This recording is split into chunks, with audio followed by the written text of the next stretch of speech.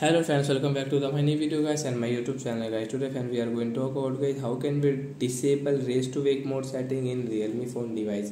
Friends you want to disable your raise to wake setting guys you don't want to use okay how can you disable? Today i will show you in this video guys. So before starting video friends first of all go and subscribe the channel guys. Click the bell icon like the video. So friends now let's see how can we disable raise to wake setting.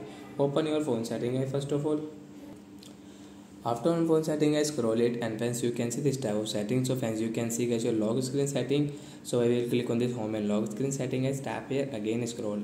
Friends you can see guys your lock screen setting guys you can see the raise to wake guys you want to disable guys you don't want to use. So when you can disable from this right side this blue icon guys tap here to disable. Then guys your raise to wake will not work in your realme phone it will disable in your phone you can check you can try guys. So that's it guys. Thanks for watching the video guys. We will meet on next video. Bye friends. And friends do have any doubt guys related to guys your home and lock screen setting guys? You can ask me in comment section. I will check. I will help. Bye guys